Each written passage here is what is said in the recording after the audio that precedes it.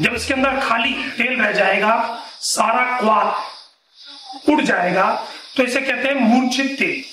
ये मूर्छित तेल कैसा तैयार होता है? अभी हम देखते हैं ये तेल उबल जाने के बाद कैसा तैयार होगा। देखते हैं। एक कटोरी देंगे साफ़ कटोरी। इसके अंदर मूर्छित तेल उबलने के बाद ऐसा। दोस्तों मैं डॉक्टर विकास गुप्ता। आज आपके साथ संध्यांशी हॉस्पिटल से जुड़ा हूँ। आज की हमारी चर्चा का विषय है कि कमर दर्द बहुत से लोगों में होता है और कमर दर्द के लिए बहुत लंबे समय से लोग पेन किलर दर्द की गोलियाँ फिजियोथेरेपी के ऊपर निर्भर रहते हैं। पौराणिक काल की अगर हम चर्चा करें, जहाँ पर इतना ज़्यादा एडवांसमेंट नहीं था, परंतु वहाँ पर ऐसी कौन सी चिकित्सा थी? उस चिकित्सा का नाम था श्रृंगी।